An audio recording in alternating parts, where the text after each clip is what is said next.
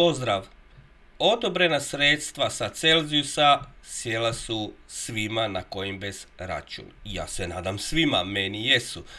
Pa ćemo da vidimo malo i o tome, ali zaista kratko jer to je prošlost i nije bitno, ali je što su tome da su sjela u dvije valute, a to su Bitcoin i Ethereum. Ethereum u Ethereumu, a Bitcoin možda oni odobreni coini svi koji su odobreni i sjeli su u Bitcoinu. Da li je to potaklo raz Bitcoina, neću ja o tome pričati, ali slušajte mnoge YouTube kanale i naravno da će većina govoriti neki investitor uložio toliko i toliko, neki investitor uložio toliko i toliko, ide do neba i takve stvari, kao i prošlih mnogo, mnogo takvih slučajeva, jer uvijek netko uloži, jel tako, samo vi zadnji niste još. E, to je smisao YouTube kanala većine, no neću ja ulaziti u to, ja se trudim da budem ono što se kaže realan,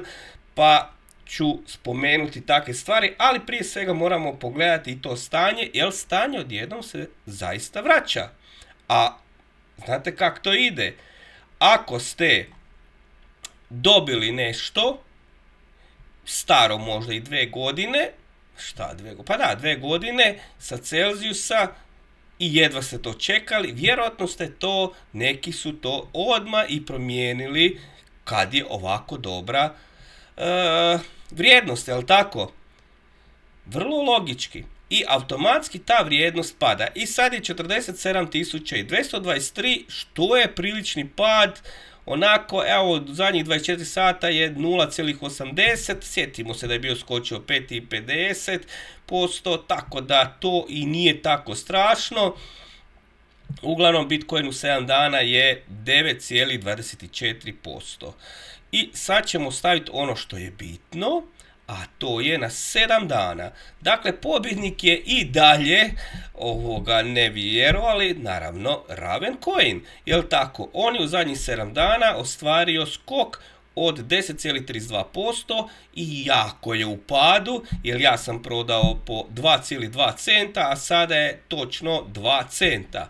Tako da vidite da je već ajmo reći 10% u padu. Dakle, on je išao do 20% i ono pisalo jedno vrijeme kad sam ja gledao je pisalo 18%, ali išao on malo i više, ali dobro, nije to ni bitno sad koliko je točno išao. Glavno da je on točno pobrao onoliko koliko smo mi postavili i ode dolje, milina, jel tako? E, I šta nas zanima? Zanima nas ono što je dolje, a to je Bitcoin Cash i Litecoin. Dakle, e, kupuje se Litecoin, kupuje se e, Bitcoin Cash, ali ne više s Fiatom. Jer je da su oni gubitnici dana, ali mogu biti kupljeni isključivo Bitcoinom. Ali ako ga imate, ako ste ga cijelog potrošili, onoga za trgovanje, onda ga nemate. Dakle, moja akumulacija preko fiat novca je završila. Pa ćemo da vidimo Šta smo onda, jer jesam ipak nešto Litecoina kupio. S čime? To je zanimljivo.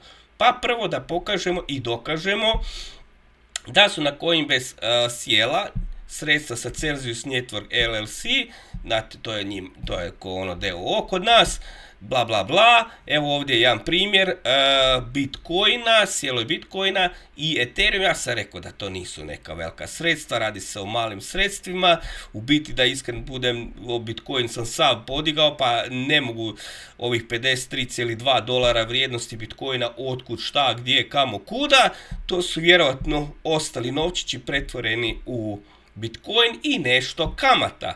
Ajmo reći, možda čak i kamata tu nosi dobar dio ako su je odobrili, jel tako?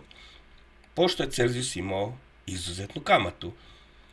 I kako to izgleda na Celsiusu? Bože, na Celsiusu. na Coinbase-u. šta se radi? Ako nešto dobijete u Bitcoinu i Ethereumu, ja odmah, naravno, rješavam se Ethereuma. Šta će meni Ethereum? Ja s tim zaista ne znam šta bi radio. A mijenjam ga u nešto što mnogi kažu da je mrtav coin, a to je LTC, dakle Litecoin. Zašto u Litecoin? Zato što Litecoin sada mogu prebaciti gdje god hoću, na bilo koju mjenjačnicu, na bilo kom mjestu u svijetu ili ti, ajmo reći, u zraku, u oblacima, pošto su to sve na serverima, tako da nećemo o tome previše pričati. Dakle, dobili smo od Ethereuma nešto LTC-a, Odmah smo to riješili, jer je Ethereum, eto vidite, skočio malo manji nego Bitcoin, ali je ipak u skoku. Zašto ljudi to drže na drugom? Ne, neću o tome, rekao neću se u to miješati, jer mene to ne zanima. To e, onaj koji ulaže u to, on valjda zna zašto to radi.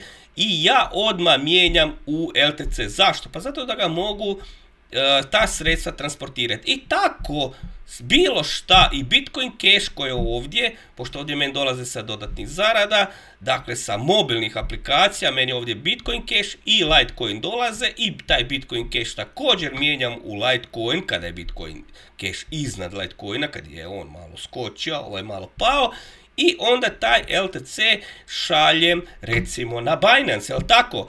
I možemo ići u trgovanje sa LTC-om. To je ono jako važno jer tamo možemo sa Binance Coinom trgovati, a možemo ići na Crypto.com pa trgovati sa Bitcoinom. Zanimljivo, možda 2-3 sata nisam kašljao, ali evo ga pred snimanje, jedva da sam počeo snimat. To je to, zanimljivo. Kao da zna.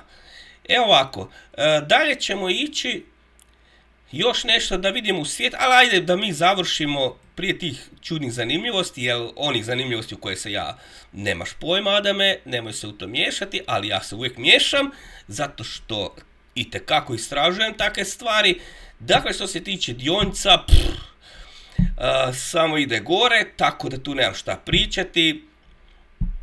Zatvorilo se sa 110,75 eura u plusu tog dana nerealiziranih 1104 eura, to je ono nerealizirano što je ostalo od ovih par dionica, 50 dionica Bitcoin grupe, uh, Interactive Broker sa 10,645, E, dionica i 30 dionica i kade i sve te dionice zajedno u biti su u prerastu od onih koliko sam ih kupio u prosjeku za 1104, znači tako malo ih ima, a tako veliki je plus na te tri dionice, u stvari na ove prve dvije, ali kade je nešto sitno u minusu i to je onaj kade koji imamo dvije postavljene kupovne pozicije i molimo se Bogu što se kaže, padni, padni, padni, iako je već imam, ali padni da kupim još jednu stepencu, pa još jednu stepencu.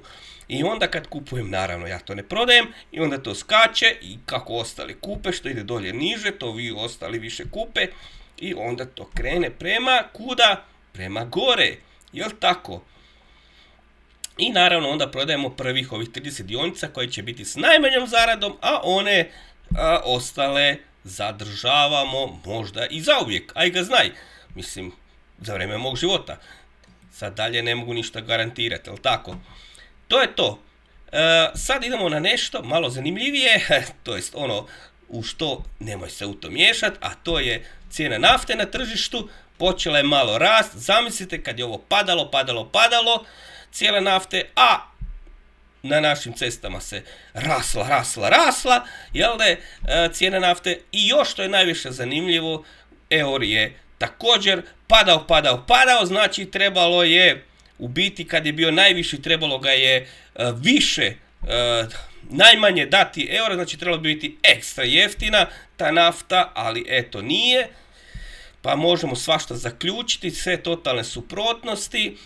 Šta je tu je? Dakle, eur sada kak je pao, pa sad pošto raste nafta, a znamo da i dok je padalo je strašno poskupljivalo, a šta će sad biti kada raste nafta i kada pada vrijednost eura, možete samo zaključiti pa to bi moglo biti i duplo poskupljenje, osim ako nešto se čudno ne dogodi.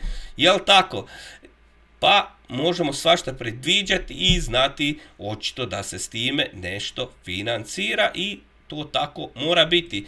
I dalje, Faucet Crypto je ono što je čisto jednostavno, što ja svaki sad put malo postavim, zato, ali moram to reći, a to ide sljedeći e, na ekranu što će biti, samo da ovo odbroji, da nema interesa za ovo, dakle nema novih referala, e, što se je uzelo je uzelo i u skladu toga ja ću vam pokazati sada šta je jedan predviđao prije 7 mjeseci i to se upravo događa. Pa da vidimo, ha, nećemo ga čekati da ovo odbroji i vidjet ćemo njega šta on kaže. U redu, olovke dolje, prestani učiti, prestani raditi, prestani pokušavati zaraditi novac. Gotovo je. To je rekao čovjek koji ima 1,46 milijuna pretplatnika prije 7 mjeseci i ja sam to pratio i jako dobro zapamtio i našao i evo to je to što se sada događa. Dakle, ono što je ušlo je ušlo, ono što je ostalo je teško da će ući. Pa zato vjerovatno ne može sav taj kripto naglo skočiti jer nema nema kako skočiti osim investiciji, investitora velikih, jel tako? Ali što se tiče interesa iz naroda, ništa, to je, ajmo reći, najmanja stavka, kao što sam jedan put rekao, kao i da su nekih velikih kompanija u stvari plaće zaposleni 3% kao najmanje stavka troškova, tako vam je u stvari sad isto i ovo, ljudi uživaju, ljudi se vesele, ljudi su jako pametni, znaju svoju povijest, znaju sve, znaju da, da Bitcoin će propast sigurno ove godine, pošto je bio, bili su sigurni i pretprošli i tako dalje, ali ove godine će sigurno sad propast, jel i takve stvari, dakle tu smo ostali, uh, razdvojili smo se u više, znači u, u te određene grupe i savjetom izolaciju, nema šta drugo. Inače, odemo u stres. Jel tako? Prema tome, sretno svima koji su investitori, sretno do njihove mirovine, jer ovdje će biti socijalni slučajevi, neće biti više mirovine. Mislim, i sad su mirovine socijalni slučaj, ali nema veze, mislim, hoću reći šta će biti kasnije.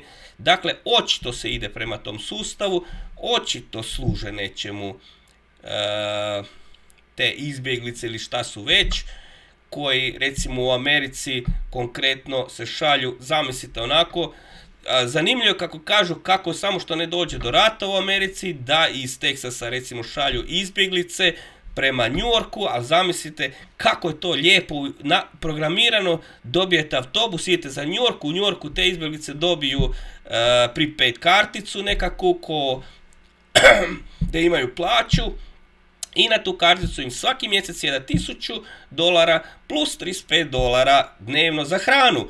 Dakle, prekrasno. I sad će naravno neko reći, e tako im i treba, to im je posao Texas. E vidite i taj čovjek iz Teksasa je član ekonomskog foruma. Dakle, ovo sve može biti jedna u stvari igra. Možda je, možda nije, Adam ne zna. Ali spominje. Dakle, nemojte mi braniti da to o tome pričam. Dakle, stvaram jednostavno maštu, pa malo razmislite i o toj soluciji, jel tako?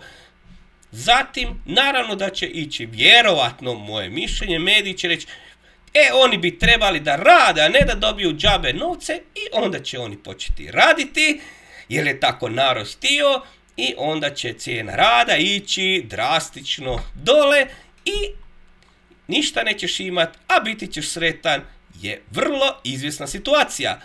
Dakle, nećemo više o tome, idemo do kraja i završiti s time, jer smanjujemo vrijeme trajanja videa. Prema tome, pozdrav i zaustavi snimanje.